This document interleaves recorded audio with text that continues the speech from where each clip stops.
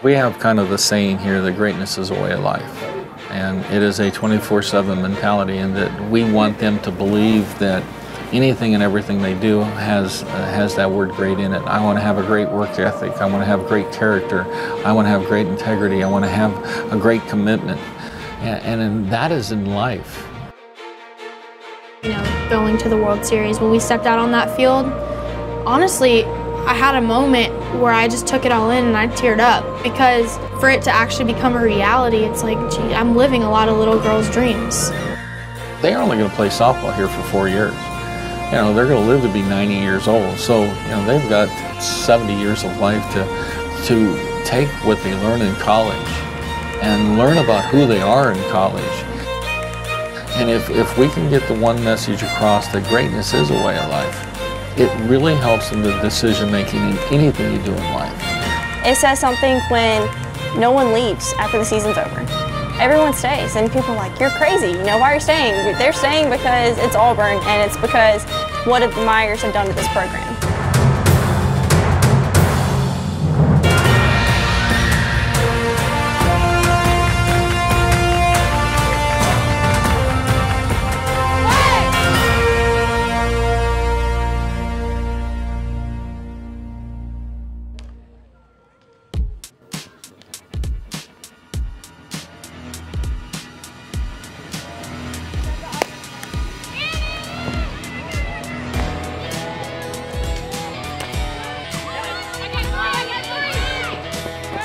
Play, good play.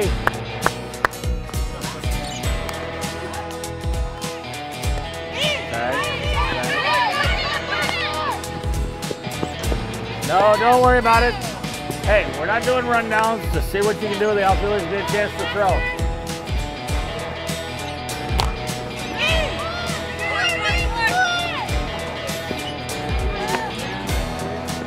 Moving up anyway. Hey, was this not advanced to runner for the hitters? Hey, hang on, Scotty. Ladies, how many runners have we advanced from second to third as a hitter? The outfielders are playing something different. We got to do a better job. Now do your job. Let's go. You know, people ask all the time, what really made you come to Auburn? It's twofold. One, the opportunity to coach with my sons, and two, the people. the, the people here are phenomenal. My wife was pregnant with our third child. Uh, we were kind of making a job change. At that time, I was just doing private lessons, and my wife was working in development at Arizona State. And uh, I called Richard Shea of the Bolts and told him, hey, you know, I'm going to be moving to California.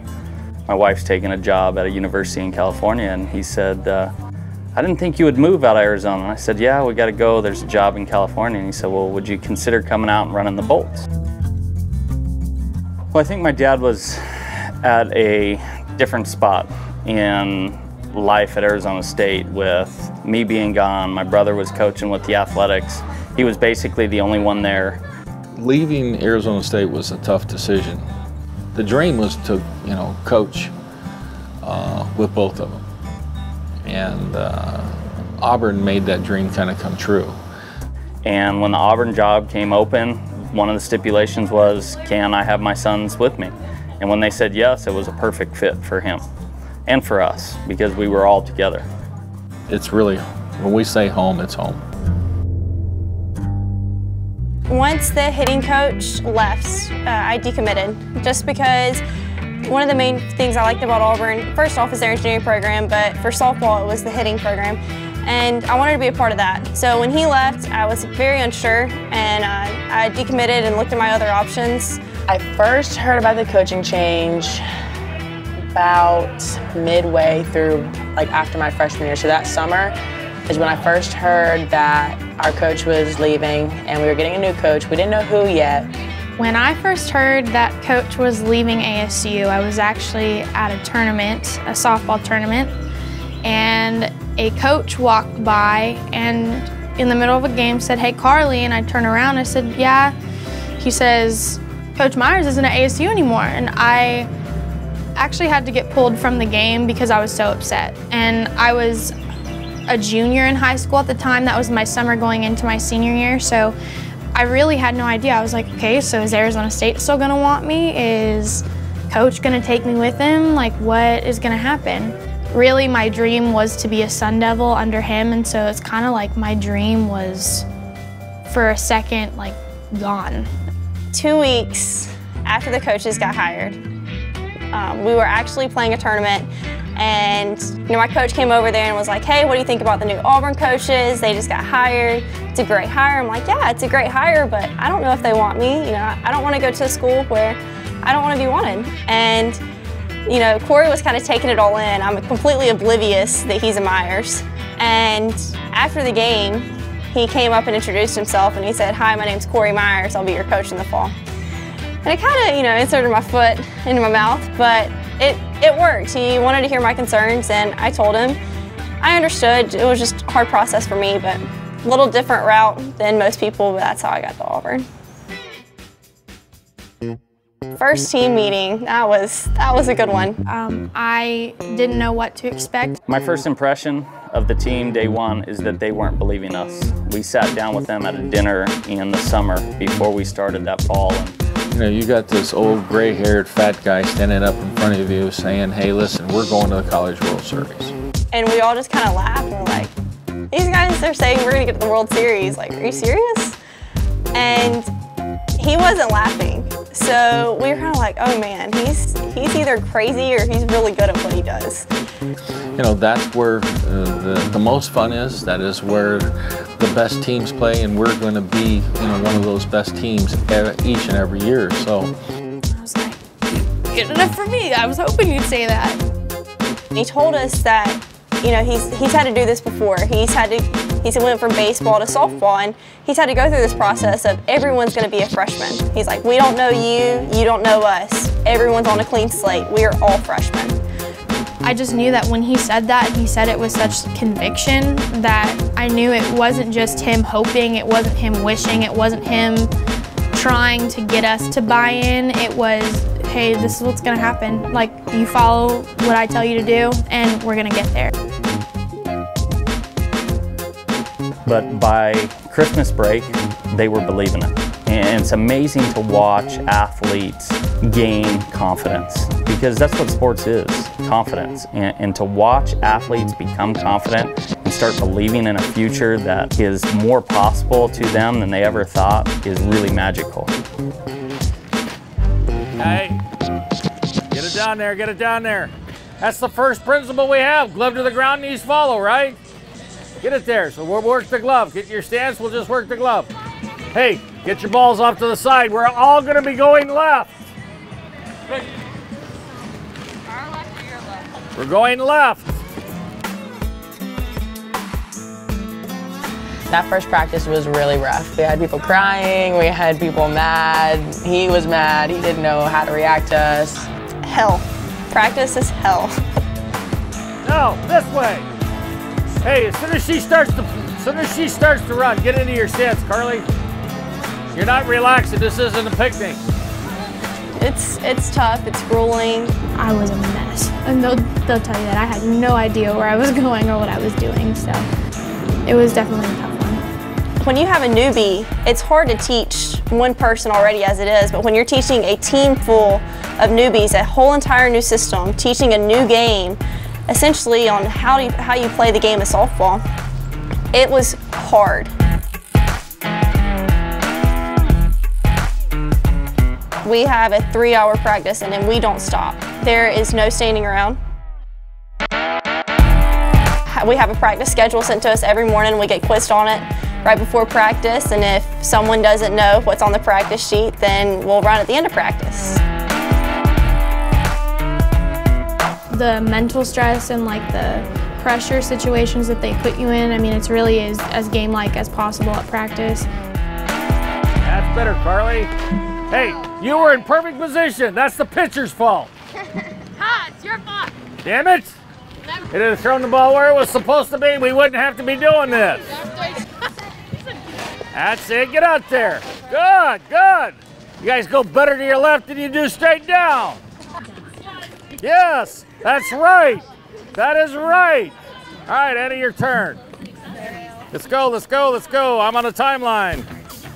After month one, we got together and we're like, hey guys, we're actually getting a lot better. We're starting to trust our defense. We're catching balls. That was a big thing is Coach Meyer says, don't think no. You don't go up to him and, well, why'd you do that? Well, I thought, no, you might as well start running. You, know, you don't think when you play here, you know. And after year one, it got better. We only have a little bit of newbies, and we can teach them. We know what to do, and they fall in. They were great kids, and they were eager to learn. And when you have that type of uh, chemistry that people want to learn, they want to get better, it made the teaching a little bit easier.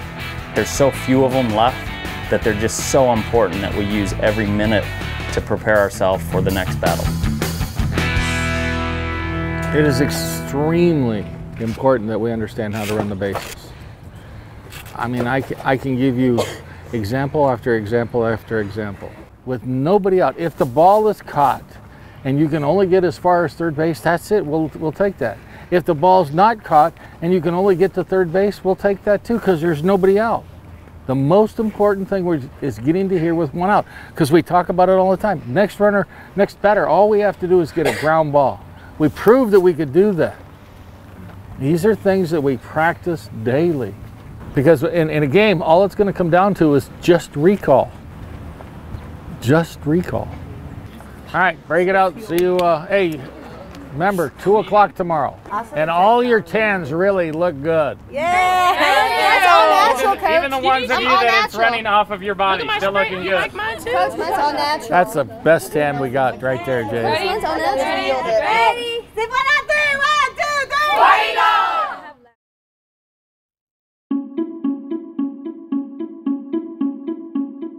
The turning point last year had to have been the Bama series. I know they scored five runs in the first inning and put us down real quick, and at that point, everyone was kind of, it was evident that people were hanging their heads, and we were like, man, we, like, we're gonna lose this. And we had a, uh, a conversation. Treat this as a Super Regionals. If they were standing in the way between us and the World Series, how would you play? He's like, Where's the fight? Where's Auburn? I don't see it. Let's go. We got to answer the call no matter what. Just give me your best. And I remember we were like, okay, coach is really fired up about this. Like, okay, we can do this. Just the entire game, we would push back, you know, with a few runs, and Bama would push back with a few runs. And just when we think we would be in reach, Bama would push us back. And we're like, okay, come on, like, we can do this. We're still in this. And I think that was the time when we were like, you know what? Like, no, we're not messing around with this. We're gonna fight, and as long as we have outs, we have a chance. I just did wasn't mentally prepared to step in the box and go through a routine. So I focused more on the mental side of hitting instead of actually the physical part because I knew I could physically hit. We had to come back twice from five five run deficits. That kind of showed them the character. Not just once that they do it, but twice being five down. You could be up by 10 but you better not lay down at all and sit and you know be relaxed because we'll come for you. Like it doesn't matter how far we're down, we're coming after you. As long as we've got an out, as long as we've got a little life, hey, we're going to compete our ass off. We grew up on the field that day, and I think it was something that the team really needed last year.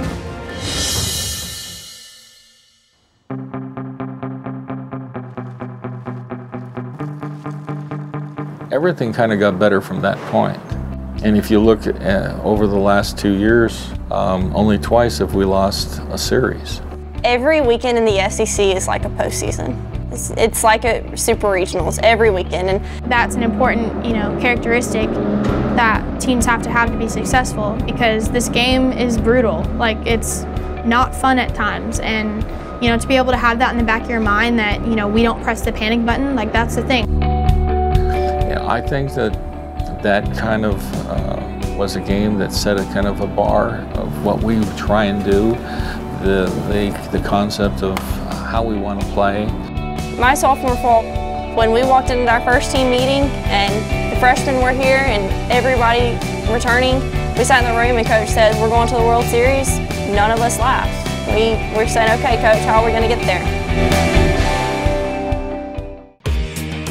The atmosphere here has made a complete 180. The game to us is a game of numbers. You want to play the odds. When we step on this field, we're a family. We all have each other's backs. This is about pride and about learning how to finish as a team. They are a team of firsts, chapter two.